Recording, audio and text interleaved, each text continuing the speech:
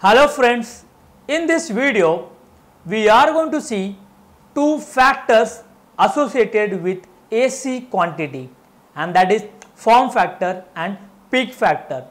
We have seen that average value, RMS value, maximum value of AC quantity, what if we can establish the relationship between them?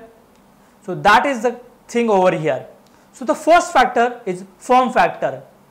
It is the ratio of RMS value to the average value. So form factor Kf is given as RMS voltage or RMS value of AC quantity divided by average value. So I write IRMS divided by I average. So Kf can be seen is 0.707 times Im. We know IRMS is 0.707 Im. So instead of IRMS I put 0.707 Im. Instead of I average it is 0.637 Im. Im is a constant term which I can cancel it out.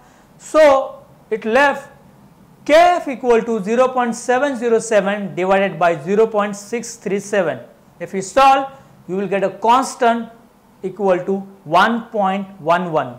So form factor for AC sinusoidal quantity is 1.11. Let us define another factor which is peak factor or crest factor. It is nothing but the ratio of maximum value to RMS value. So Kp is given as maximum value divided by RMS value. Maximum value is Im, RMS I denoted as IRMS.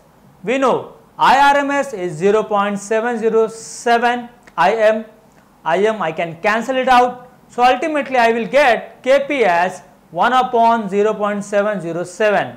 So if I solve it is actually root 2 and root 2 is nothing but 1.414. So peak factor is 1.414 for sinusoidally varying voltage or sinusoidally varying quantity. So these are the two fixed constant factors associated with AC quantity. Thank you.